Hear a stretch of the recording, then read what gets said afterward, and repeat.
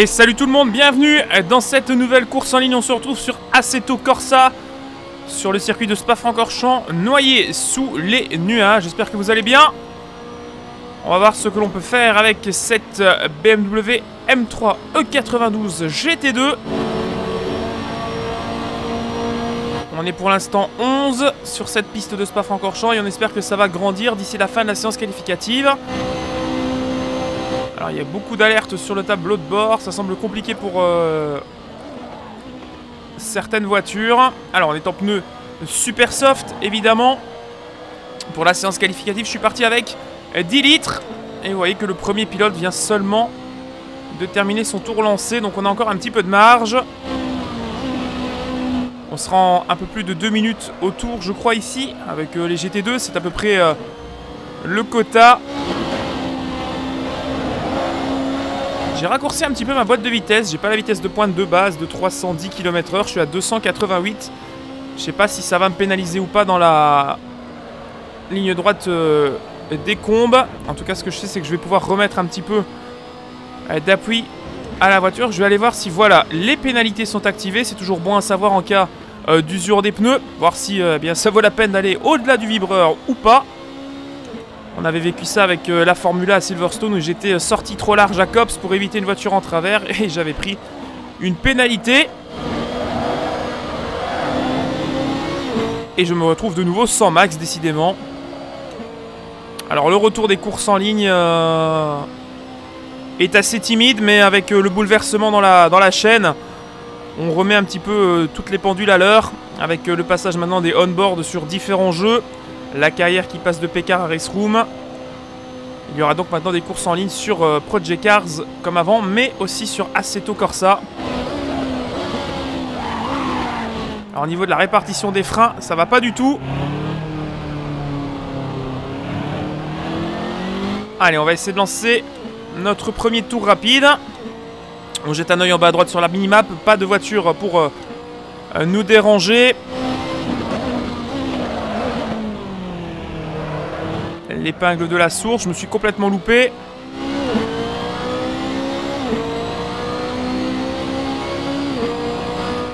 Sans chrono, on est tombé au quatrième rang, évidemment. On prend le raidillon. Quasiment pied à fond. J'ai dû soulager. Faudrait que je vois si je ne dois pas donner un coup de frein au pied du raidillon et le passer en 5. Ça peut être aussi une solution. On a un petit peu de marge pour euh, se rendre compte euh, de tout ça dans cette séance qualificative. Toujours peur de freiner trop tôt, de peur euh, de bloquer les roues à l'avant. Quatrième.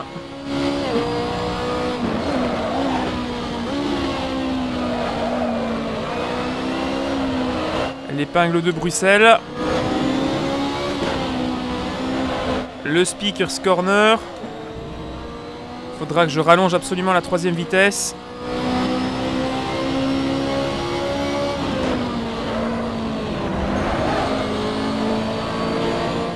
Alors qu'on perd des gens là.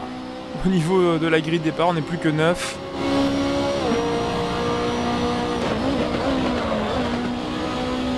On retombe en 3 pour le pif-paf. La 4 en sortie. La voiture tient bien au niveau du train avant. J'y rajouterai bien un peu d'appui, mais euh, la lame est déjà, je crois, à deux clics.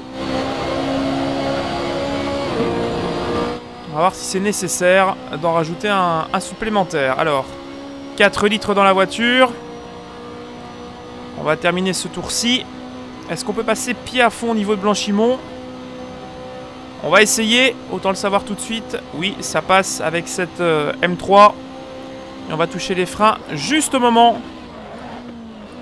où il y a la petite ligne blanche au sol. C'est un très bon point de repère si vous ne savez pas où freiner dans cette euh, chicane du bus stop. Et on relance. Restez un petit peu accroché au vibreur, mais c'est pas grave. Et on s'empare du cinquième chrono en 2.25. Et il reste justement 5 minutes au chrono. On va faire une nouvelle tentative avec une voiture un peu mieux ajustée. Dernière tentative. À 1 minute 49 de la fin du chrono.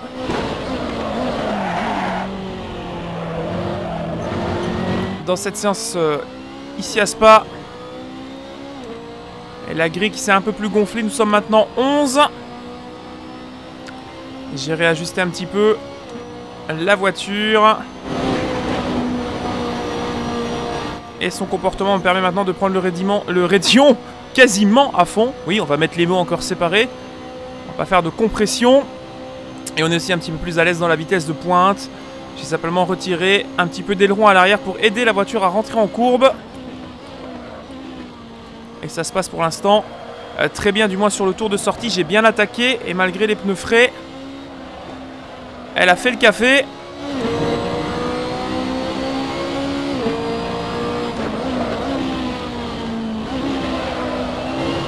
Elle fait exactement ce que je lui demande. Alors on est en pneu super soft évidemment.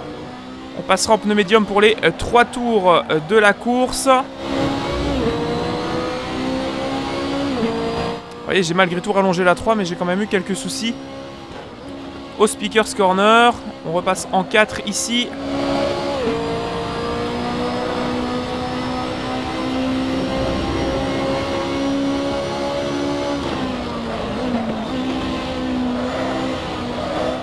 Même au 7 rang. Les chronos qui commencent à tomber.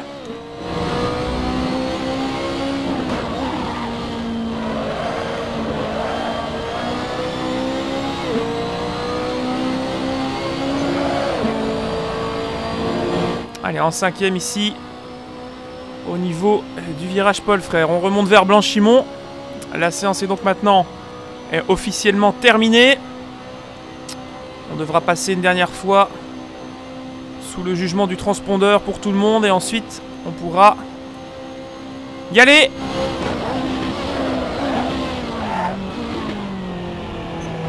La chicane où ça a été parfois compliqué par le passé ici de retrouver le grip.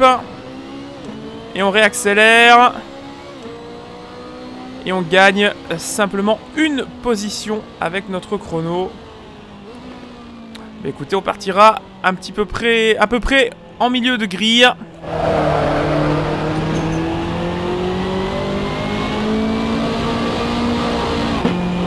On verra ce que ça va donner. Perdu parmi les 458 sur la grille de départ ici à Spa. On va voir ce que l'on va pouvoir faire avec euh, notre BMW. Alors que les feux vont s'éteindre. 8 tours ici à Spa. S'annonce assez compliqué, mais le but est toujours le même. Aller au bout.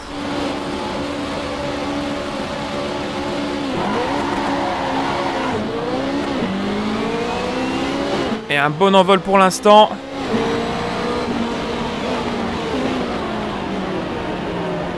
Et il y avait tout de même une autre BMW qui est d'ailleurs allée au contact. Nous sommes allés un peu au large, mais ça se passe bien pour l'instant. On est dans la descente du Rédillon. Un petit bump.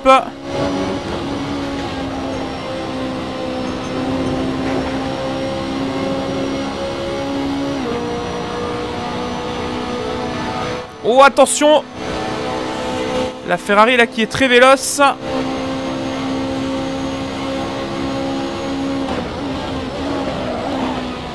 Et qui s'est peut-être fait euh, bousculer au départ.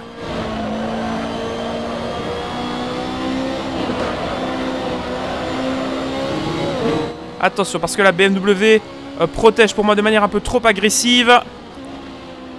Dans le virage de Bruxelles, il y a du contact devant. Ça part euh, évidemment tête à queue. Nous, on essaie de se euh, protéger et on est touché. Évidemment. Et on reste à notre septième rang.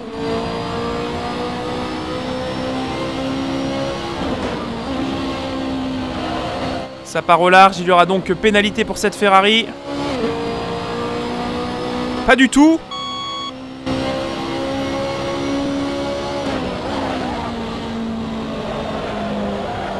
Moi qui avais toujours considéré que des pénalités étaient infligées depuis le début sur ce serveur, ça ne semble pas être le cas, ça semble compliqué, voilà.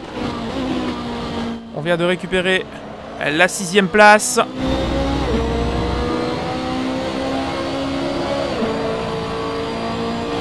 Côté de Blanchimont, et ça semble bien parti pour certaines Ferrari qui ont déjà pris l'avantage.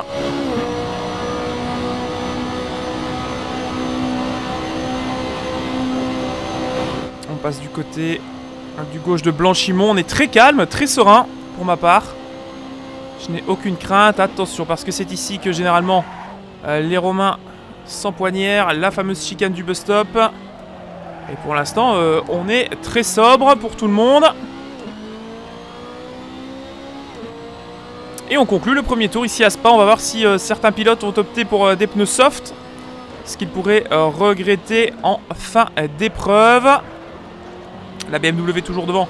Euh, très à l'affût pour euh, faire une, euh, une incartade par rapport à la trajectoire idéale. On va essayer d'en profiter dans les prochains tours. Pour l'heure, le plus important est de rester concentré. De ne pas perdre la voiture ni de prendre une pénalité idiote. Et de faire une course, comme vous le savez, si vous me suivez depuis de nombreux mois. Les fameuses courses de patience et d'attente avant euh, de tirer les marrons du feu. On fera le décompte à la fin.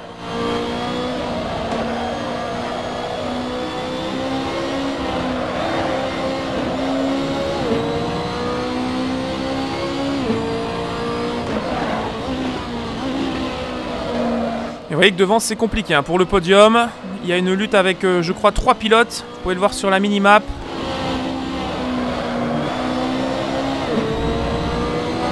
ça reste assez compliqué de déterminer où on sera à la fin de la course. Il y a encore euh, beaucoup de marge. Oh, et la BMW qui part à la faute Toute seule comme une grande.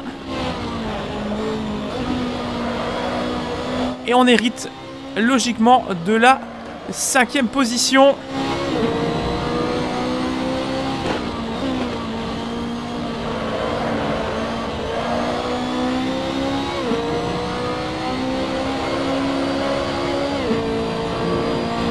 au niveau du carburant, pour les 8 tours, euh, j'ai mis l'équivalent de 8 tours, 7 dans le carburant estimé. Donc euh, on verra ce que ça donnera à la fin de l'aventure. En tout cas, la BMW semble repartie. Je ne crois pas que c'est elle qui nous suit.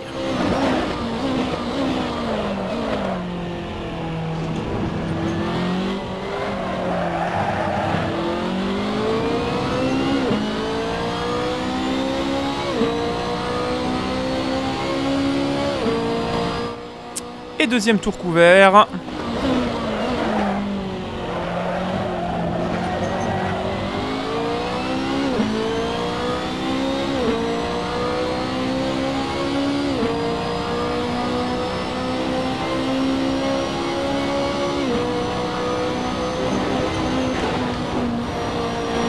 Toujours une crainte à prendre ce Rédion sans euh, soulager un minimum. J'ai peur de le prendre en cinquième et de faire euh, hurler inutilement le, moteur alors qu'on voit en, fond d'image. Hein. C'est euh, très succinct mais les, trois pilotes devant... On n'a pas encore abdiqué pour... pourquoi pas inscrire un podium si un pilote de devant a un problème. En tout cas aller, les aller chercher à la régulière. Ça semble à oublier. Allez, dans Bruxelles, un peu de sous-virage avec l'usure des pneus euh, qui commence euh, tout doucement à se faire sentir. Malgré que ce soit des médiums qui ont été montés, euh, c'est très difficile de ne pas sentir une différence, même après trois tours ici à Spa.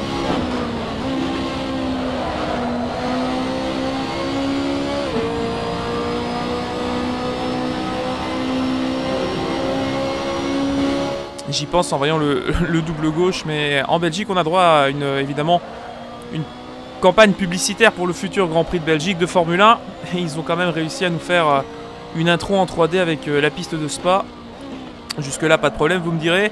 Si ce n'est qu'ils ont mis des bacs à gravier partout, au double gauche et au raidillon. C'est assez euh, triste de voir ce qui est devenu Spa. Même quand on regarde ici à gauche le virage de Blanchimont, ça s'est vraiment, vraiment dégradé ici à droite. Rappelez-vous, il y a 15 ans cette année, Luciano Burti allait pulvériser sa Prost dans le mur, faisant peur à beaucoup de monde.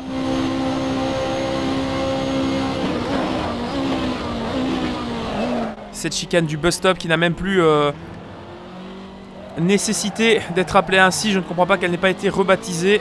Peut-être pour le patrimoine, mais euh, elle n'a plus le, le symbole euh, qu'était cette chicane refaite à partir de, je crois, 83. 83 quand le Grand Prix euh, de Formule 1 était revenu de Zolder. Drapeau jaune. Peut-être que c'est sorti au Rédion, on verra bien. Même ici, la sortie de la source à l'époque, on frôlait le rail. Et c'était euh, une toute autre euh, dimension. Quant au Rédion, n'en parlons pas. Et une voiture est bien stoppée en bord de piste sur la droite, au pied du Rédion. Mais ça semble être un concurrent qui nous est rejoint en cours de route.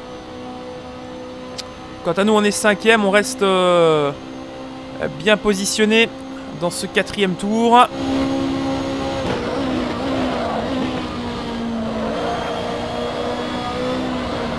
Et ça se passe bien, on garde toujours notre rythme au niveau euh, des rapports de boîte pour certains virages que l'on va devoir modifier évidemment avec le, temps et l'usure des pneus. Vous voyez que euh, le peloton a l'air d'être assez étalé, mais je peux vous dire que c'est quand même assez compact à ce niveau-ci de la course.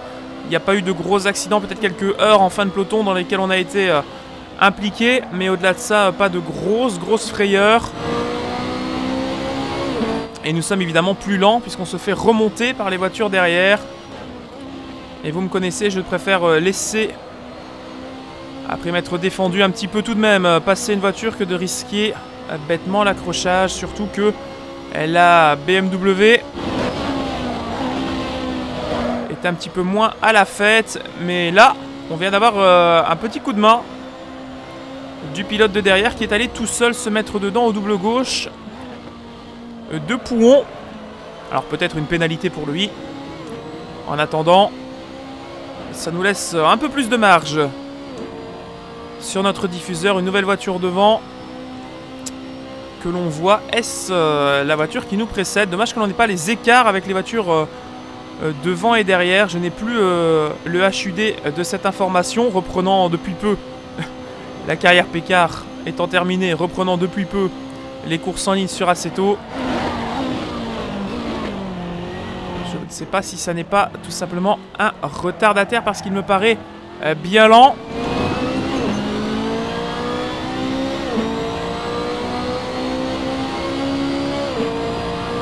De toute manière, si c'est le cas, les drapeaux bleus euh, vont se charger de lui expliquer la manœuvre à suivre. Toujours drapeau jaune dans euh, le premier secteur avec euh, cette Ferrari arrêtée à droite au pied du raidillon, j'imagine. Oui, cette voiture est toujours là, mais ça repart. Ou ça part finalement. On ne sait pas trop. C'est une Corvette, pardon. Corvette C7R et non une Ferrari. Puisque la catégorie GT2 qui était uniquement composé de la BMW et de la Ferrari. Et maintenant composé de trois voitures avec l'arrivée de la C7R. Alors, on continue. Cinquième des 8 tours. Course d'attente. Pour l'instant, on ne peut rien faire d'autre que tourner et décompter les minutes, les secondes.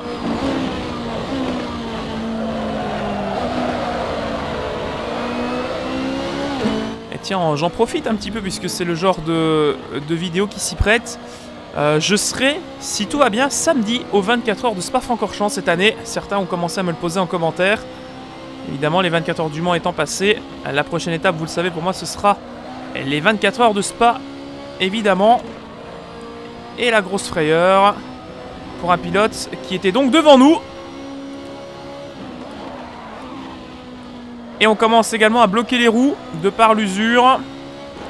On récupère provisoirement une quatrième position. Après le tête à queue de 7458.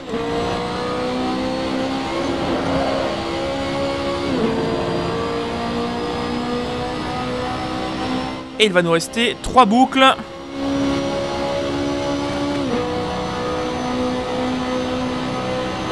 À l'issue de ce tour.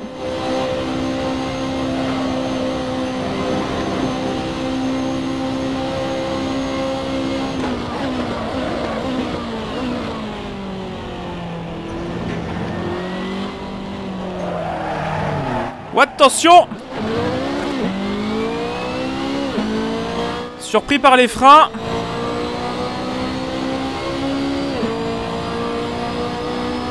Attention Alerte euh, frein sur la voiture. J'ai été déséquilibré totalement à la chicane. Alors qu'au niveau des tours précédents, ça passait très très bien.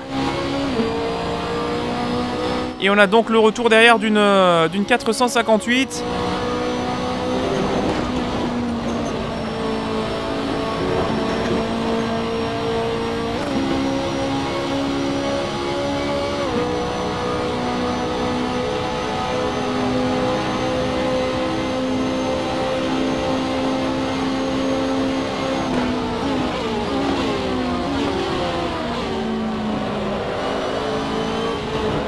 Va freiner à l'intérieur pour l'empêcher de passer.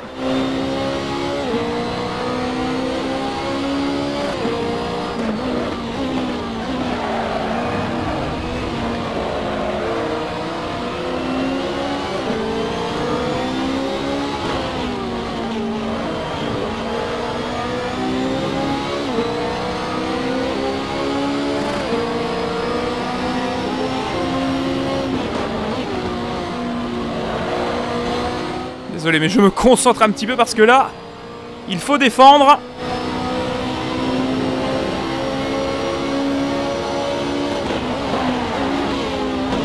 Oh, j'ai peut-être un peu trop fermé la porte là. Ah, dommage, je suis désolé. C'était vraiment pas volontaire, je pensais qu'il allait freiner.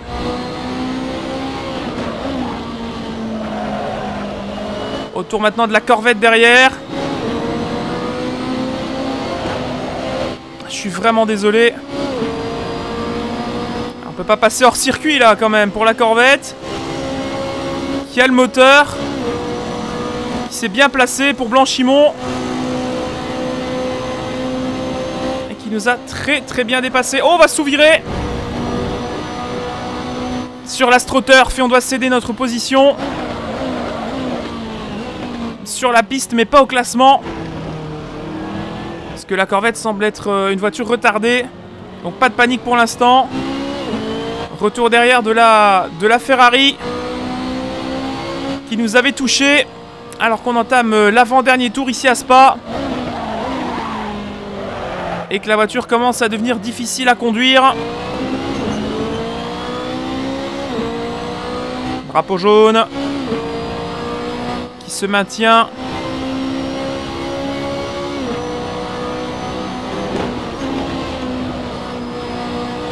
Cette fois-ci, c'est une BMW arrêtée en haut du, du raidillon.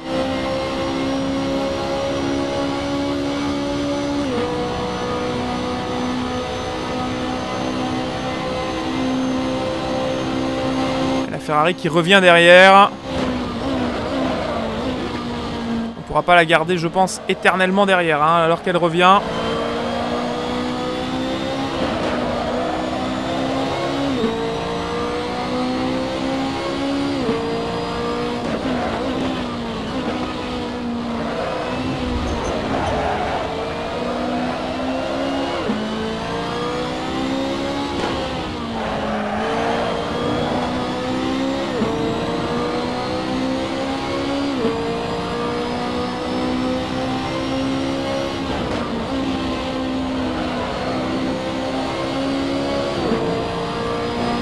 Elle est clairement plus rapide cette Ferrari. Elle est très bien conduite également.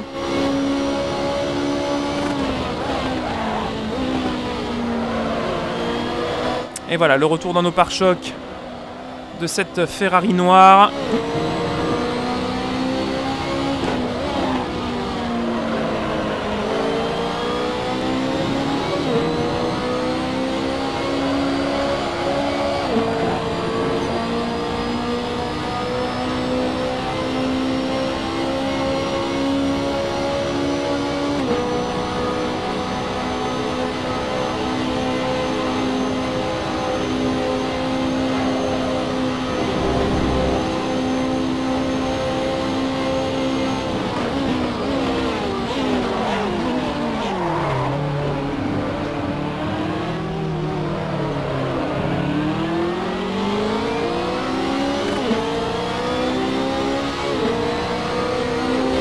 Drapeau blanc, dernier tour. Et la Ferrari qui est à l'extérieur. Il a tenté de croiser, mais il a percuté. Le muret de béton, c'est notre chance pour tenter de retarder l'échéance.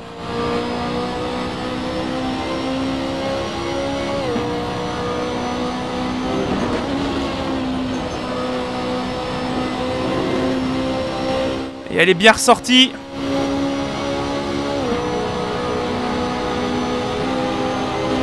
Le petit bump.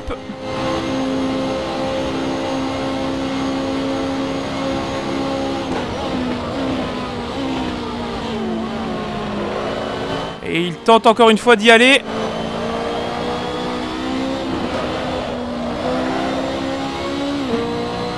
Oh, il est parti en tête à queue Oh, il s'est loupé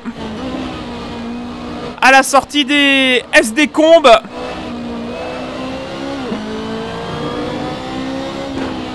Ce sera maintenant difficile pour lui de refaire le trou.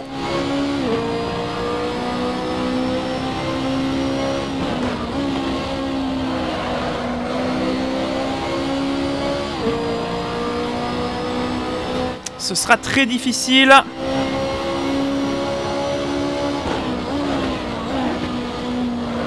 Va-t-on ramener un pied de podium dans cette course La Ferrari revient très très fort hein, derrière. Sauf erreur à la dernière chicane, ce qui peut toujours arriver avec moi, vous le savez.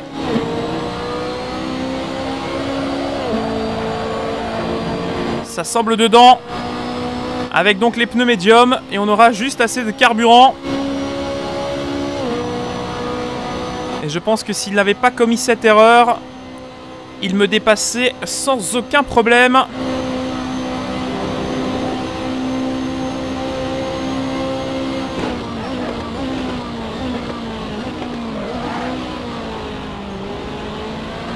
Va remettre en deuxième tout doucement. Voilà, et on va bien réaccélérer droit. Et on termine donc cette course à la quatrième position. Voilà, merci à toutes et à tous d'avoir suivi cette course en ligne. Il y aura eu un petit peu de bagarre et de stress sur la fin. J'espère que ça vous aura plu. On se retrouve très vite pour de nouvelles aventures. D'ici là, bon amusement en piste les amis et à la prochaine. Ciao